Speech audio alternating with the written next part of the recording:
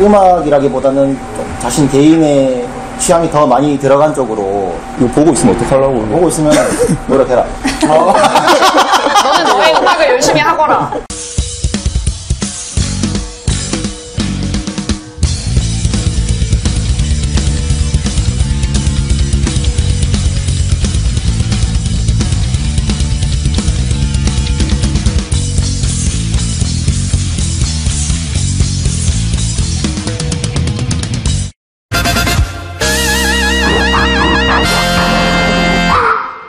맥주 한 박찬의 락앤롤 파워 토크 시즌2 시작하겠습니다. 락앤롤! 아, 오늘은 부산의 신인 밴드 아크라이트 모셨습니다. 반갑습니다. 반갑습니다. 멤버 개개인의 소개 부탁드리겠습니다. 아, 안녕하십니까. 저는 아크라이트의 팀 리더이자 기타리스트로 활동하고 있는 29살 윤승환이라고 합니다. 반갑습니다. 네, 반갑습니다. 저는 팀 막내를 맡고 있고 베이스 치고 있는 김병준이라고 합니다. 예, 반갑습니다. 저는 29살 보컬을 맡고 있는 김교선이라고 저는 아크리트에서 드럼 치고 있는 송주원이라고 합니다. 예. 아, 궁금한 게 있는데 왜 나이를 오픈하셨나요? 저희가 나이가 저희 밴드의 좀 큰 장점이지 않을까, 강점이고 좀 어필할 수 있는 부분이지 않을까 해서 나이를 항상 오픈을 하고 있습니다. 근데 지금은 아무도 안 했는데 보컬만 했잖아요. 제일 먼저 하길래 따라했는데 했나요? 아, 이렇게 나이 먹으니까 기가 어둡네요. 나이 오픈하는데 뭐 불편함이 없나요? 네, 뭐 아직까지는 아직까지는 이거 딱 찍으면 좀 슬퍼집니다. 어, 눈물도 많아지고. 아직 안 찍어봐서 저희가 공감이 잘 안 되는 것 같은데. 만 나이가 되면은 찍기, 막 예를 들면 그 사회에서는 만으로 가잖아요. 네, 맞습니다. 어, 개인 프로필도 만 나이로 서른이 되면 어, 멤버분들도 조금씩 이렇게 예쁜 모습이 아닐 거예요. 어, 저랑은 지금 다른 너무 풋풋하신데 어, 좀 슬퍼지실 거예요. 그때부터. 아, 슬픔이로는 락앤롤입니다. 멤버 이제 개개인의 근황 토크로 한번 시작해보겠습니다. 어, 본인 근황 직장 다니고 있고요. 해운대의 여성병원에서 병원 행정사로 일을 하면서 어, 평일 저녁이나 뭐 주말에 합주도 하고 작곡도 하고 그렇게 지내고 있습니다. 행정. 예. 아크라이트 팬덤이다. 몸이 아파. 갑자기 찾아가. 그럼 어떻게 뭐. 아, 저한테 미리 연락 주시면 제가 지인 할인가로 해가지고 조금 더 저렴하게 이제 원장님한테 따로 말씀드려서 아. 좀 좀 더잘 봐달라고 서비스 좀 해주시고 영양 수액 같은 거 좀 놔달라고 아, 여기 수액까지? 아 가능합니다. 아, 감사합니다. 어, 락앤롤 파워 토크 우리 시청자 여러분, 부산에 계신 분들, 몸이 급하게 아프면, 어, 아크라이트 우리 리더이신 아, 기타리스트 아, 윤승환 씨를 찾아가서 지휘라는 찬스를 받아주시고, 그 다음에 공연장도 이렇게 가주시고, 그럼 더더욱 두 번째 아팠을 때는 수액도 놔주시고. 아, 네.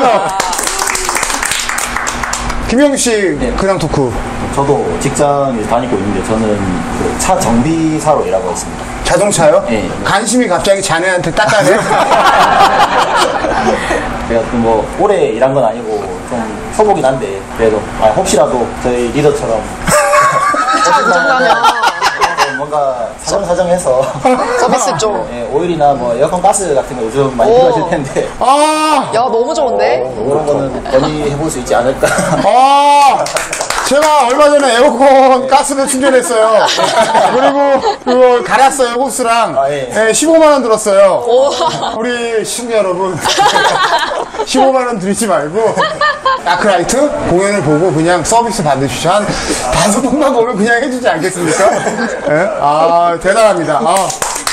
아, 우리 보컬 김명순 씨 어떻게 지내시나요, 요즘? 어, 저도 이제 직장 생활하면서 틈틈이 이제 노래 연습하고 저희 노래 들으면서 이렇게 지내고 있습니다. 어, 직업을 밝혀야 하나요? 아니, 안 받아도 됩니다. 예. 뭐, 따라갈 필요는 없어요. 그렇죠? 네, 그럴 필요 없어요. 아, 뭐, 뭐가 중요한 거. 나이만 오픈하면 되는 거잖아요, 저희. 어, 알겠습니다. 어, 그러면 뭐, 우리 지인 할인 이런 거 없는 걸로? 아, 직장이 좀 힘들 것 같아요, 그러기에는. 조금 좀 힘들어요, 예. 좀. 아, 오케이. 알겠습니다. 송지현 씨, 어떻게 네. 지내십니까? 아, 네, 저는 유일하게 직장인이 아니라서 저는 지금 그냥 취준 때문에 공부하고 연습도 하고 그런 상황이죠. 저는 졸업한 지도 아직 얼마 안 돼가지고 그래서 한창 공부하고 있는 중입니다. 그래서 어, 어떤 공부를 하시나요? 제가 그 일본에서 잠깐 대학을 다녔어가지고 일본어 원래 현재 취직을 하려고 했는데 코로나 때문에 힘들어서 귀국을 했거든요. 취직이 힘들어가지고 그래서 어쩌다 이런 사회적인 이야기가 되는지 모르겠는데 그냥 그래서 일본어 공부하면서 그쪽으로 그래도 거기서 학교 다녔으니까 준비 중입니다. 아, 그러면 네. 이제 학교를 일본에서 나오셨나요? 네네 그죠. 어. 거기서 사실 드럼을 배웠는데 그 전공을 살리기가 영 쉽지가 않아가지고 그냥 일본어로 어떻게 좀 해봐야 되지 않나 싶어서 이제 준비는 하고 있죠. 아. 네. 그러면 일본에서 드럼을 전공하셨나요? 네 그죠 그죠. 어, 일본이 제 나이 때 일본이라는 나라가 드럼 베이스 강국이었어요. 어. 리듬 다이가 리듬이 오. 너무 앞서간 나라였거든요. 근데 지금은 우리나라가 동등해졌는데 저희 때만큼은 더 문화를 그쪽에서 교류를 외국 문화를 많이 받아가지고 드럼 베이스를 정말 잘했어요. 어, 지금은 근데 동등한 입장이 됐어요 거의 한국. 지금도 한국 사람들 너무 잘하죠. 어, 그래서 또 네. 이제 보컬 같은 경우는 일본 사람들보다 한국 사람들이 월등히 잘하고 아, 그죠, 그죠. 음. 이렇게, 이렇게 동의해도 되는 건가요? 이렇게 공감해도 되는 이렇게까지? 거의 친구들도 있는데, 이렇게까지 공감이 되는 건지 모르겠지만. 아, 그렇죠. 왜냐면 저도 이제 그쪽에 이제 이- 있어가지고 아, 네. 많이 이제 접하고 엔터테인먼트도 음, 그쪽이랑 같이 네네네. 어. 예전에 얘기도 많이 해서 시스템을 잘 알고 있습니다. 아, 그래서 하지만 대한민국 락앤롤. 아, 대한민국 락앤롤. 아, 그럼 아크라이트 팀결성은 언제 했는지 궁금합니다. 21년도에 먼저 결성을 했었고요. 어. 중간에 멤버 교체를 조금 겪으면서 지금 요네 멤버로 활동한 지는 한 9개월 정도 된 것 같습니다. 9개월. 지금 이렇게 네 분이 네네. 어땠나요? 어, 처음 시작하고 지금 9개월 동안? 처음 시작했을 때 원래 보컬 있었을 때는 저는 그 보컬 친구가 좀 뭔가 음악이라기보다는 좀 자신 개인의 취향이 더 많이 들어간 쪽으로 이거 보고 있으면 어떡하려고. 보고 있으면 노력해라. 너는 너의 음악을 열심히 하거라. 어.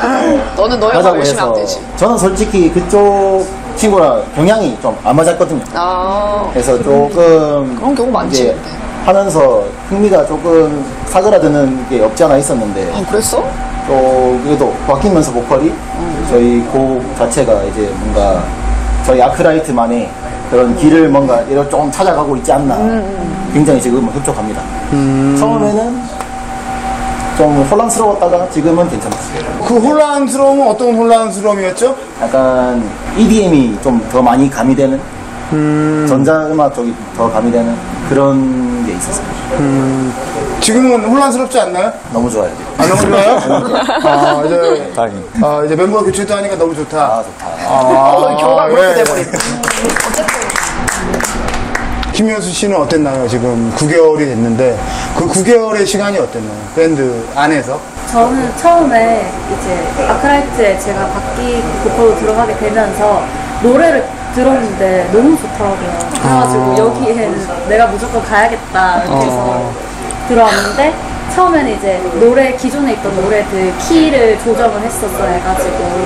조금 이제 그런 착오가 있었는데 요즘 공연도 되게 많이 하고 이런 들어오기 전에 있었던 노래에 대한 갈망들이 풀려가는 기분이라서 요즘 스트레스 관리도 너무 잘 되고 너무 좋아요.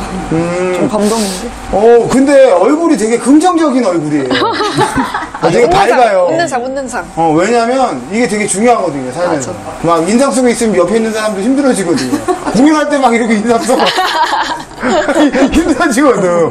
아, 되게 그래도 너무 이 밴드 사운드를 만족하시네요, 우리 보컬 김효수 씨는. 드러머 송지현 씨는 어땠나요? 네, 저희 그딱이 노선이가 들어오기 전에 한 21년도에 결성을 했었다고 했잖아요. 근데 그때는 한참 코로나가 너무 심했어가지고 공연도 많이 없고 그랬어서 조금 결성한 지 조금 됐지만 뭔가 활동도 별로 없고 신곡도 내기가 힘들고 그래서 영 결성은 했지만 뭔가 흐지부지한 상태였단 말이에요. 네, 마침 전에 있던 보컬 친구가 나가야겠다고 해가지고 아 어떡하지 했는데 마침 딱 들어와 줬는데 목소리 너무 예쁘고 여자 키로 바꾸니까 원래 남자 야. 보컬이었는데 여자 키로 바꾸니까 오. 노래가 더 좋은 거예요 괜히 야. 그래서 공연도 요즘 또 요즘 또 공연이 좀 많잖아요 좀 더워지기도 했고 코로나도 오. 많이 완화가 됐고 공연도 많이 다니고 이런 자리까지 저희가 공연 덕분에 이런 자리까지 오. 마련이 되어서 요즘 너무 점점 어, 이거 복댕이가 들어온 거네, 한마디로. 그죠, 그죠. 어, 복댕이 라켓놀. 그럼요 아, 그럼 아크라이트에 이제 좋은 곡 우리 시청자분께 한 곡 소개해 드려야 되는데 어, 떤 곡이 이제 좋을지 우리 리더께서 어, 아직까지 발매 준비 중인 곡이긴 한데요. 이제 저희가 노래 제목들이 보통 보면은 저희 아크라이트 일단 팀 명에 대해서 먼저 설명을 해드려야 될 것 같은데 아크가 저희가 항상 공연 볼 때마다 무대랑 관객석이랑 같이 계신 분들이 전부 한 배에 타고 있다는 생각을 좀 많이 했었어요. 그래서 배 중에서 제일 큰 게 뭐 항공모함 같은 것도 있겠지만은 방주가 이제 뭐 종교적인 의미가 있는 건 아니고 방주가 좀 제일 큰 저희가 생각했을 때 가장 큰 배라고 생각해서 그 ark에 저희가 그 배 안에서 빛나는 사람들이란 뜻의 라이트를 붙여서 저희가 아크라이트라는 이름을 지었고 곡 제목들도 보면은 뭔가 배, 뭐 출항, 항해 뭐 이런 배에서 일어나는 모든 일들 그런 걸로 이제 제목을 많이 지었단 말이에요.